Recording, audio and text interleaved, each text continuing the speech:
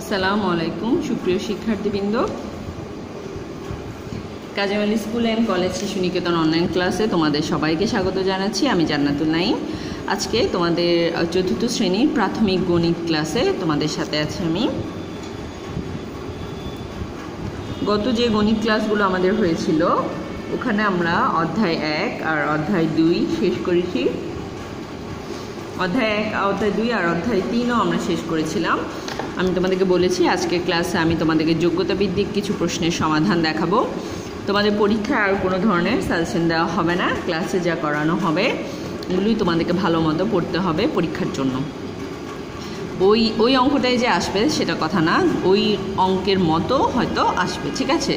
যোগ্যতা ভিত্তিক কখনোই পরীক্ষায় হুবহু দেওয়া হয় না। আমি সাজেশন থেকে তোমাদেরকে দিয়েছি, কারণ যেহেতু তোমরা অনেকে ক্লাস করনি, আমাদের স্কুলও বন্ধ করোনার কারণে, সেজন্যই আমি দিয়েছি। কিন্তু এখন যেহেতু স্কুলও খুলবে, আর তোমরা যেহেতু দুবার পরীক্ষা দিয়েছ, তাই তোমরা বুঝতে পেরেছ প্রশ্নের ধরন কেমন হবে।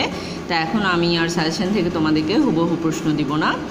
বা ক্লাসে যা করাচ্ছি, তা যদি ভালো মতো করো, তোমরা অবশ্যই পরীক্ষারগুলোও পারবে, ঠিক আছে? তাহলে আসো, আজকে আমরা যোগ্যতা ভিত্তিক প্রশ্নগুলো দেখি আমাদের।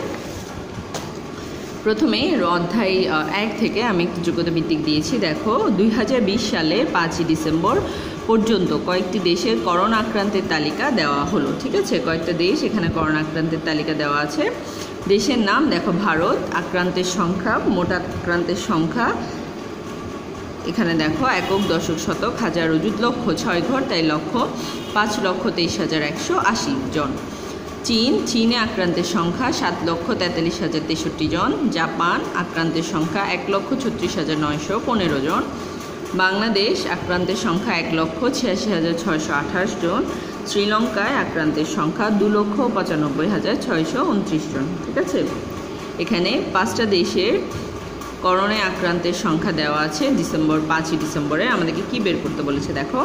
সবচেয়ে কম আক্রান্তের দেশটির সংখ্যা কথাই লিখো। যেহেতু এখানে সবগুলো ছয় ঘরের, তাই আমরা সবচেয়ে কম কোনটা হবে? যার একেবারে শেষের ঘর মানে লক্ষ্যের ঘর ছোট। তার মানে এখানে সবচেয়ে ছোট লক্ষ্যের ঘর হচ্ছে জাপানের এক লক্ষ চৌত্রিশ হাজার নয়শো পনেরো। তাহলে সবচেয়ে কম আক্রান্ত দেশ হচ্ছে জাপান। তা আমরা কীভাবে লিখব বলব? খ নাম্বার, সংখ্যাগুলোকে চিহ্ন ব্যবহার করে বড় থেকে ছোট ক্রমে সাজাও। বড় থেকে ছোট ক্রমে সাজাতে হবে। গ নাম্বার, বৃহত্তম বিজোড় সংখ্যাটিকে কমা ব্যবহার করে লেখো এবং এর স্থানীয় মান নির্ণয় করো। সবচেয়ে বড় যে সংখ্যাটা থাকবে, সেটা যদি বিজোড় হয়, তাহলে ওইটাই হবে বৃহত্তম বিজোড়, ঠিক আছে? আর যদি সবচেয়ে বড় সংখ্যাটা জোড় হয়, তাহলে তার তার পরবর্তী সংখ্যাটাকে আমাদেরকে দেখতে হবে। তাহলে প্রথমেই কয়ের সমাধান দেখো। সবচেয়ে কম আক্রান্ত দেশের নাম জাপান এবং সংখ্যা এক লক্ষ ছত্রিশ হাজার নয়শো পনেরো। এটাকে কথায় লিখেছি, সংখ্যাটি কথায় এক লক্ষ ছত্রিশ হাজার নয়শত পনেরো। ঠিক আছে? এভাবেই সুন্দর করে সাজিয়ে লিখতে হবে। অ্যাব্রো থেব্রো যে কোনো লেখা লিখলে হবে না। ঠিক আছে? আচ্ছা। খ নাম্বার দেখো।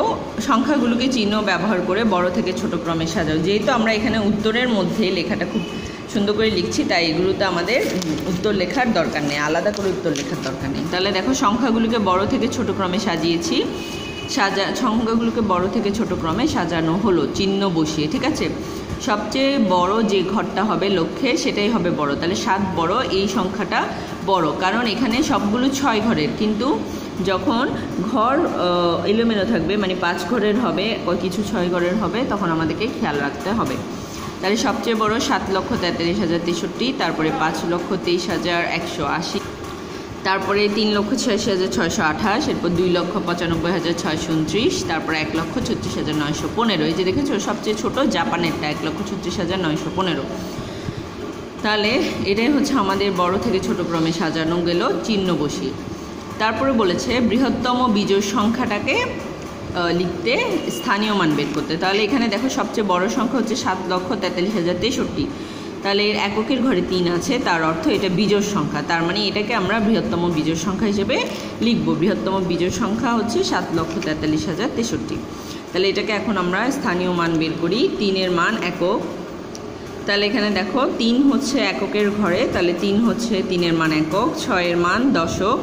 শূন্যের মান হচ্ছে শতক, তিন নাম্বার ঘরে। চার নাম্বার ঘরে আবার তিন, তাহলে এটার মান হাজার। এখানে পাঁচ নাম্বার ঘরে হচ্ছে চার, এটার মান অজুত ছয় নাম্বার ঘরে সাত, এটার মান লক্ষ তাহলে একক, দশক, শতক, হাজার অজুত লক্ষ আমরা এইভাবে করে বৃহত্তম বিজোড় সংখ্যাটার স্থানীয় মান বের করতে পারব, ঠিক আছে? যেটা আমাদেরকে গ নাম্বারের রিকোয়ারমেন্ট দেওয়া আছে।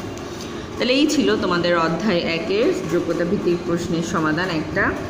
তোমরা এই ধরনের অঙ্কটাও দেখবে। আবার তোমরা ওই যে মূল্যায়ন পরীক্ষা, দ্বিতীয় মূল্যায়ন পরীক্ষা যেটা দিয়েছিলাম, কার্ড সাজিয়ে প্রশ্নে দেওয়া আছে। কার্ডগুলোকে সাজিয়ে লিখতে হবে বড় থেকে ছোট ছোট থেকে বড়। এরকম অঙ্কটাও তোমরা দেখবে, দ্বিতীয় মূল্যায়ন পরীক্ষা যেটা দিয়েছিলাম। তারপরে দেখো, অধ্যায় দুই থেকে একটা আমি দিয়েছি যোগ্যতা ভিত্তিক এটা আমরা দেখি। পাইন গাছ আর বট গাছ নিয়ে একটা করেছিলাম। ওই অঙ্কটাকে আমি যোগ্যতা ভিত্তিক হিসেবে দিয়েছি, দেখো। একটি পার্কে একটি বট গাছ ও একটি পাইন গাছ আছে। একশো পঁয়ষট্টি বছর পূর্বে গাছ দুইটির বয়সের যোগফল ছিল সাতাশি বছর, বর্তমানে পাইন গাছটির বয়স দুইশো তিন বছর। প্রথমেই বের করতে হবে বর্তমানে গাছ দুটির বয়সে যোগফল কত। এটা আমরা ওই ক্লাসেও পড়েছিলাম চ্যাপ্টার থেকে। তাহলে দেখো, যোগ্যতা ভিত্তিকে আসলে একশো পঁয়ষট্টি বছর পূর্বে গাছ দুইটির বয়সের যোগফল ছিল কত? সাতাশি বছর। আমি বলেছিলাম, বর্তমানে যখন গাছ দুটির যোগফল, বয়সের যোগফল বের করব, তখন আমরা যত বছর পূর্বে বলেছে, সেই বছরটাকে বর্তমানের বয়সের সাথে যত বছর পূর্বে বলেছে, সেটাকে আমরা মোট বয়সের যোগফল যেটা দেওয়া ছিল, তার সাথে দুবার যোগ করতে হবে। কেন? কারণ এখানে দুটি গাছের বয়সের যোগফল জিজ্ঞেস করেছে, ঠিক আছে? সেজন্য। তাহলে সাতাশি যোগ একশো পঁয়ষট্টি যোগ একশো পঁয়ষট্টি। তোমরা এটা রাফে দেখাবে। একশো পঁয়ষট্টি একশো পঁয়ষট্টি আর সাতাশি যোগ করলে আমাদের আসবে চারশো সতেরো বছর। এটা তোমরা অবশ্যই রাফ করে দেখাবে। আমি দেখাইনি, কিন্তু তোমরা দেখাবে। যোগ অঙ্ক তো আমি অনেকবার করেছি, তোমরা সবাই পারো, তাই এটা আমি আর রাফে দেখাইনি কিন্তু পরীক্ষার খাতায় তোমাদেরকে প্রতিটা অঙ্কের রাফ দেখাতে হবে। তাহলে উত্তর উত্তর লিখে দেবে সুন্দর করে চারশো সতেরো বছর। খ নাম্বারটা বলেছে, বটগাছটির বর্তমান বয়স কত? তাহলে দেখো, এখানে আমরা বর্তমানে দুটি গাছের বয়সের যোগফল পেয়েছি চারশো সতেরো। আর আমাদের প্রশ্নে বট, পাইন গাছের বয়স দুইশো তিন দেওয়া আছে। তাহলে মোট যোগফল থেকে আমরা যদি পাইন গাছের বয়সটা বাদ দিই তাহলে আমরা বটগাছের বয়স পেয়ে যাব। তাহলে লিখেছি ক হতে পায়। বর্তমানে গাছ দুটির বয়সের যোগফল চারশো সতেরো বছর। বর্তমানে পাইন গাছটির বয়স দুশো তিন বছর। তাহলে মোট গাছের যোগফল থেকে একটা গাছ বাদ চলে গেলে আরেকটা গাছ থেকে যাচ্ছে। তাহলে বিয়োগ করে বর্তমানে বট গাছটির বয়স বিয়োগ করে আমাদের আসবে কত? সাত থেকে তিন গেলে চার। এক থেকে শূন্য গেলে এক বসে যাবে, চার থেকে দুই গেলে দুই। তাহলে দুশো বছর। বর্তমানে এটা আমাদের বটগাছের বয়স। তাহলে আমরা উত্তর লিখে দেবো দুশো বছর। ঠিক আছে? বুঝতে পেরেছ? আমরা এখানে খটা শুরু করার আগে ক থেকে যে আমরা গাছের যোগফলটা পেয়েছি, এটা সুন্দর করে এখানে লিখব। ক হতে পাই। ঠিক আছে? তাহলে এই ছিল তোমাদের খ নাম্বার যোগ্যতা, খ নাম্বারের উত্তর, ঠিক আছে? গ নাম্বারে দেখো, বলেছে নিরানব্বই বছর পর গাছ দুটির বয়সের যোগফল কত হবে? তাহলে খুবই সহজ। যেহেতু আমরা একশো পঁয়ষট্টি বছর পূর্বের যোগফলের থেকে বর্তমানেরটা বের করার সময় একশো পঁয়ষট্টি দুবার যোগ করেছি, তাহলে এখন আমাদেরকে বলেছে নিরানব্বই বছর পরে, তাহলে আমরা একইভাবে বর্তমান বয়সের সাথে, এই যে বর্তমান যে বয়সটা পেয়েছি দুজনের, দুটো গাছের, চারশো সতেরো, এটার সাথে আমরা নিরানব্বইকে দুবার যোগ করব। সরি তাহলে গ থেকে পাই, গ গ নম্বরে লিখেছি, দেখো, ক থেকে পাই, বর্তমানে গাছ দুটি বয়সের যোগফল চারশো সতেরো বছর। সুতরাং নিরানব্বই বছর পর গাছ দুটি বয়সের যোগফল হবে। এই মোট যোগফলের সাথে আমরা নিরানব্বইটাকে দুবার যোগ করব। আমি আবারও বলছি, দুবার যোগ করার কারণ আমরা এখানে দুটো গাছের বয়সের যোগফল বের করছি। তাই দুইজনের যোগফল আলাদা আলাদা যোগ করতে হবে। তাহলে চারশো সতেরো যোগ নিরানব্বই যোগ নিরানব্বই। তাহলে চারশো সতেরো সাথে নিরানব্বই নিরানব্বই যোগ করলে আমরা পাবো হচ্ছে কত? ছয়শো পনেরো বছর। এটা তোমরা রাফে দেখাবে। তাহলে এই ছিল আমাদের দু নম্বর অধ্যায় দুইয়ের অধ্যায় দুইয়ের থেকে যে অঙ্কটা দিয়েছি, সৃজনশীল, সেটার সমাধান অধ্যায়, যেটা আমি দুই থেকে দিয়েছি, ঠিক আছে? তাহলে আমি তোমাদেরকে অধ্যায় এক থেকে একটা সৃজনশীল দেখিয়েছি। কি ধরনের হবে? অধ্যায় দুই থেকে একটা দেখিয়েছি। পরবর্তী ক্লাসে আমি অধ্যায় তিন থেকে দেখাবো, ঠিক আছে? আমাদের অধ্যায় তিনটা হচ্ছে গুণ নিয়ে। তাহলে পরবর্তী ক্লাসে তোমাদেরকে আমি অধ্যায় তিন থেকে সৃজনশীল দেখাবো। পরবর্তী এরপরে এর পরের ক্লাস আসলে অনলাইন হবে নাকি স্কুলে এসে হবে এটা তোমাদেরকে হোয়াটসঅ্যাপের মাধ্যমে জানিয়ে দেওয়া হবে। স্কুলে এসে হলে ইনশাল্লাহ সবার সাথে দেখা হবে। তাহলে সবাই ভালো থাকবে, সুস্থতা থাকবে, সবার সুস্থতা কামনা করে। আমার আজকের ক্লাস এখানেই শেষ করছি। আল্লাহ হাফেজ। আসসালামু আলাইকুম।